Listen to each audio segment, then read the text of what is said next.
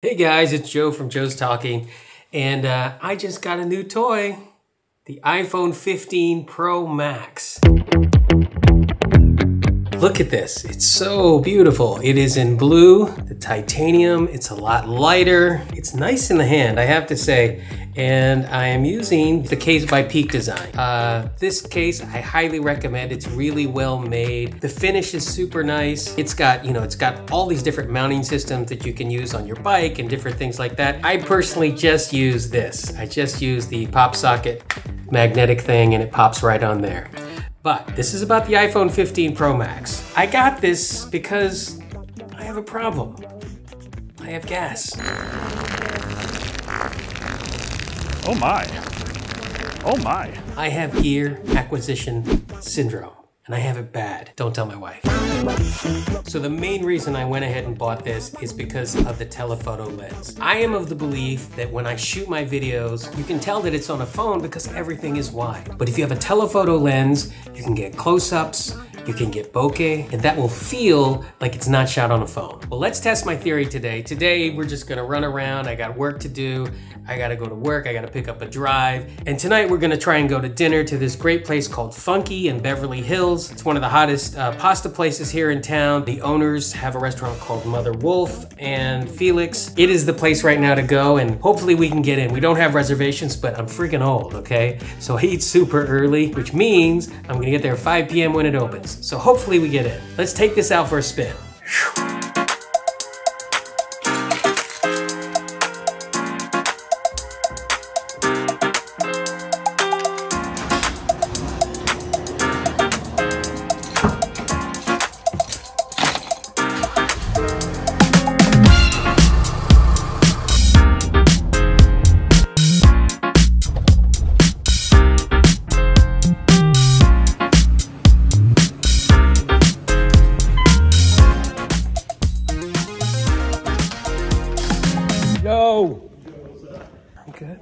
Yeah. All right, we got both drives? Yes, sir.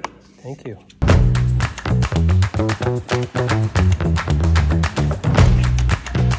Curious to see how good the stabilization was as I was walking. Let me know in the comments below. It's time to pick up some lunch. I'm going to Zankou Chicken, which is a super popular place here in Los Angeles. Hi there, uh, picking up for Jo.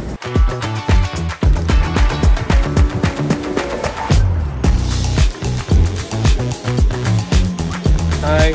Okay, so while my wife feels the need to vacuum right now, let me use the slow motion.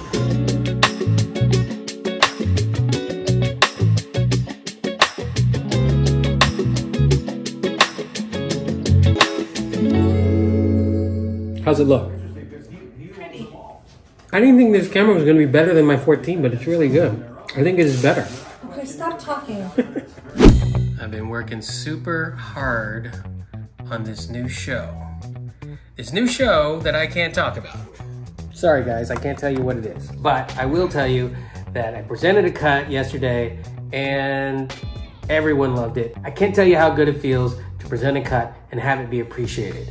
I worked like 14 hour days for the last three or four nights uh, just to get this thing done because the deadline was super crazy.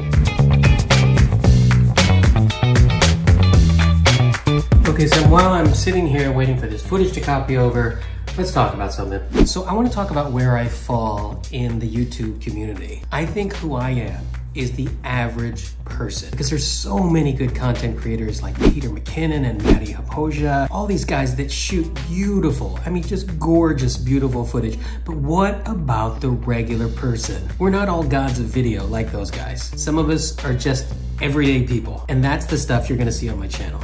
Wait a minute, what is this mother doing? That is gross, dude. What the f? Here's another one. You guys see that thing? What the hell is that? Ugh. There's all these bugs that are coming out here because it's a thousand degrees here in California right now. These things are everywhere. We kind of pride ourselves on having a spotless house. Cat? What's with all the bugs? They're all over Jonah's room. Excuse me. Do you guys have something for termites? I? That one? Because it's like, it just, it's, it does the job. I've had enough of you guys. You guys are going down.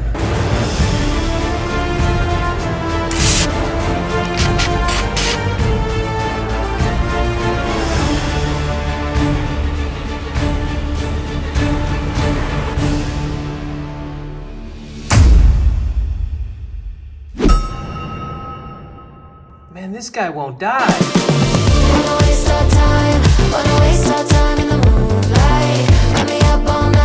Hey guys, so I am walking here in Beverly Hills. We're getting ready to have some dinner, but I just wanted to show you guys how good this works in low light.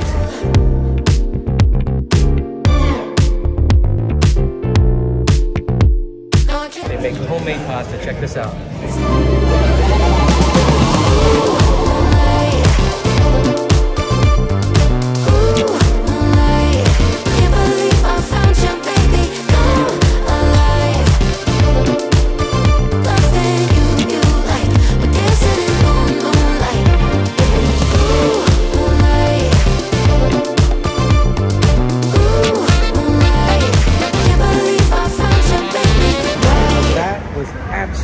Delicious. You want to be in my vlog about the iPhone 15 Pro Max? No. Hey guys, we are back from Beverly Hills and Funke Restaurant was phenomenal. If you guys are in Los Angeles, you gotta try it. Now, let's talk about my final thoughts about this iPhone 15 Pro Max. I like it. Now let's talk about the telephoto lens. Now, when they marketed this phone, they said it has seven lenses. It does not have seven lenses, but that 110 millimeter equivalent telephoto lens you guys saw how I was able to push in. I love doing that because it gives my videos a little bit more energy. If I want to emphasize something, I push right in. Now I know a lot of people are talking about log on this phone. I don't have time to connect it to an external hard drive, throw the Rec 709 LUT on there to get it to the right color, and then add a LUT on top of that.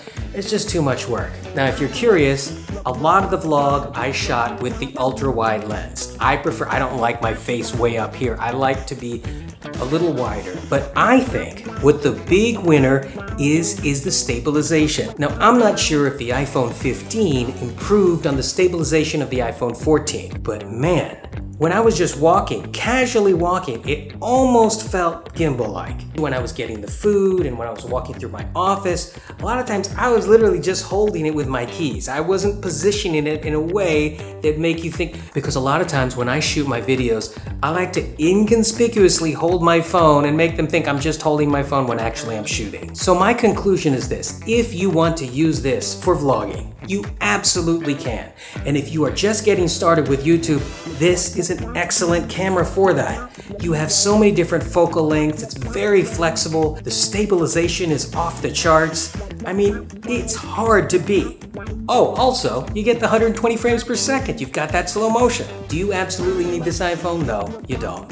But it's so nice to have. Anyway, guys, thank you so much for spending time with me today, and I will see you in the next video. Whew.